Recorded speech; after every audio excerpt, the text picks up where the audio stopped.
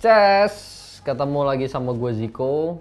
Hari ini gue mau build dot mod RDA 22 single coil di pairing sama detonator by Squid Industry.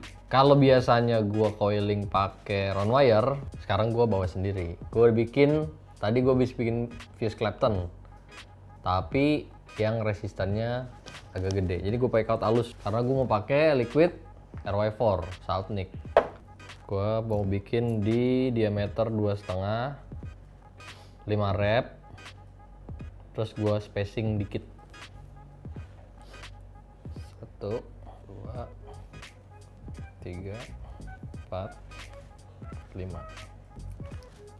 Rapiin kalau habis spacing bikin spacing kayak cara gua pakai premat biasanya dia nggak terlalu rapi. Cara ngerapiinnya itu lu mesti tarik bagian kakinya biar dia tensionnya kencang.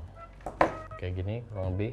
Belum terlalu rapi sih memang nanti kita rapihin pas di decknya. Enaknya ngebuildnya si dot mod ini dia kasih benda ajaib ini. Di sini ada jig dan di sini ada apa ya namanya? Dia lu karang aja sendiri namanya. Jadi lu nggak akan takut gue potong kawatnya seberapa panjang. Ini udah ada cetakannya. Lu tinggal tekuk kakinya gini gini cara potongnya itu langsung di sisi alatnya ini dia nggak bakal terlalu panjang dan nggak bakal terlalu pendek. Jadinya seperti ini. Pokoknya kalau build mod lu sangat dimudahkan dengan alat-alatnya mereka deh. Tinggal pasang gini doang. Tuh. Rapi. Tinggal di kita kencengin posnya. Beres. Tinggal kita rapihin. Sambil kita firing resistennya adalah 0.67 gue priming di 13 watt dulu. Nah.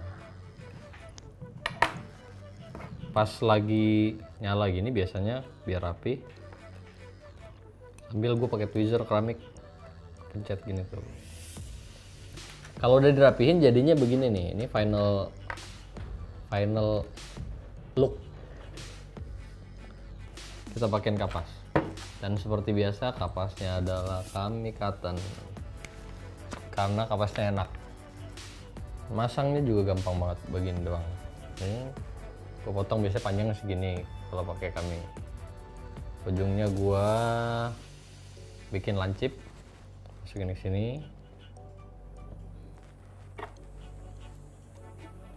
Tinggal kita potong bagian kapas yang lebih. Kalau di dot mod gue biasanya potongnya agak panjang sedikit. Biasanya misalnya segini gue kalau bikin eh kalau potong kapas ini gue panjangnya segini. Tuh.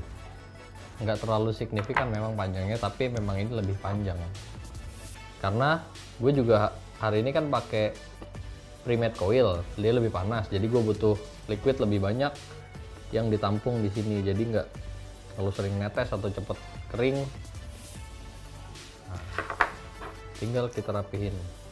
Beres. Tinggal kita kasih liquid. Dan liquidnya adalah RY4 dari Movi Tobacco, vanilla, caramel, strawberry. Yang gue harapkan dari build ini sih throat hit memang. Dan kita coba. Airflow gue buka semua biar nggak terlalu panas. Gue main di 30 watt resistan 0,6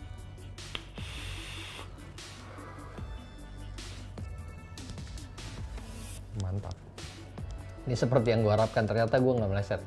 Yang gue harapkan adalah hit yang lebih nonjok dibanding build-build sebelumnya.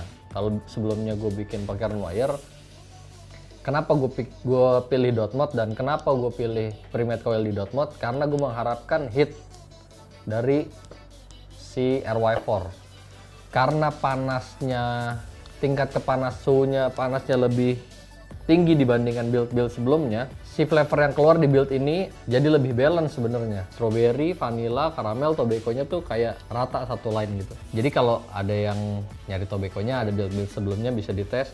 Kalau yang mau nyobain RY4 yang rasanya keluar semua bisa pakai premat coil yang resistennya jangan terlalu kecil tapi karena salt Throat hitnya tajam apa enggak? Enggak terlalu, tetap enak karena saltiknya pure saltnik 20 mg. Jadi hitnya masih masih halus tapi tampolannya sih oke banget. Jadi kalau mau ngobrol-ngobrol main ke Movi sikat dot matnya sikat detonatornya liquidnya RY4 gue tungguin di Movi nanti kita build bareng.